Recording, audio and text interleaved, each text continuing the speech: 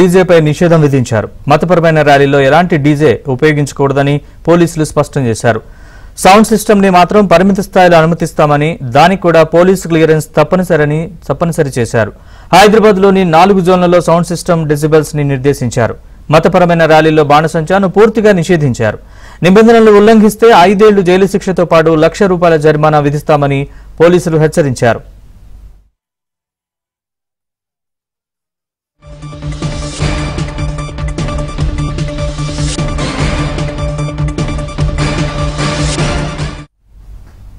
ఇక మతపరమైన ర్యాలీలో డీజేని నిరాకరిస్తూ హైదరాబాద్ పోలీసులు ఉత్తర్వులు జారీ చేశారు. దీనికి సంబంధించిన పూర్తి వివరాలని మా క్రైమ్ బ్యూరో ఇన్ఛార్జ్ వెంకట్ని అడిగి తెలుసుకుందాం. వెంకట్ చెప్పండి పూర్తి వివరాలు. ఎప్పటి నుంచి అమల్లోకి రానున్నాయి ఈ నిబంధనలు? నరేష్ ఏదైతే హైదరాబాద్లో డీజే అండ్ క్రాకర్స్ను పూర్తిగా నిషేధిస్తూ Hyderabad police commissioner TV Anand ఉత్తర్వులు జారీ చేశారు. ఈ ఉత్తర్వులు ఎమ్మటే వెంటనే అమల్లోకి రానున్నాయి. ఈ రోజు నుంచి మొత్తం హైదరాబాద్ జంట నగరాలు తర్వాత గ్రేటర్ హైదరాబాద్ మొత్తం మీద ఎక్కడైతే బహిరంగ ప్రదేశాలతో పాటు అయితే ఊరేగింపుల్లో కూడా డీజే పూర్తిగా నిషేధిస్తూ ఆదేశాలు చేశారు అయితే ర్యాలీలు మతపరమైన ఆ, అనేక కార్యక్రమాల్లో కూడా డీజేకి సంబంధించి ఎటువంటి మైక్ సెట్ కానీ లౌడ్ స్పీకర్లు కానీ వాడకూడదు.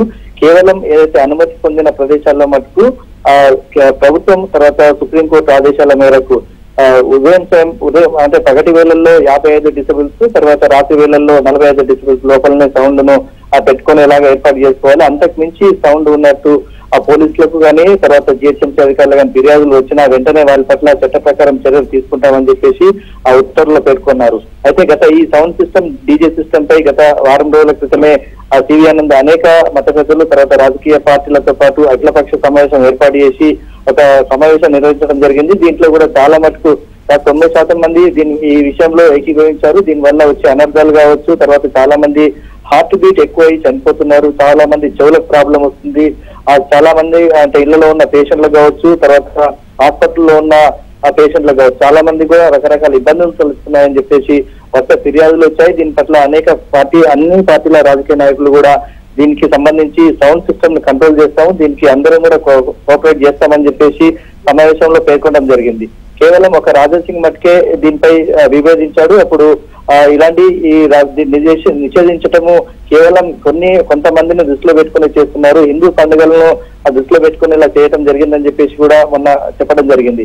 దీన్ని బట్టి చూస్తే ప్రభుత్వం తీసుకునే నిర్ణయమే ఫైనల్ అని చెప్పేసి అధికారులు వెల్లడించారు. అదే ఆదేశాల ప్రకారము ఇప్పుడు వచ్చిన ఏదైతే ఆర్డర్ కాపీని బట్టి చూస్తే వెంటనే తక్షణమే ఇప్పుడు జీవో ఈ రోజు నుంచి అమలు అమల్లోకి రానుంది.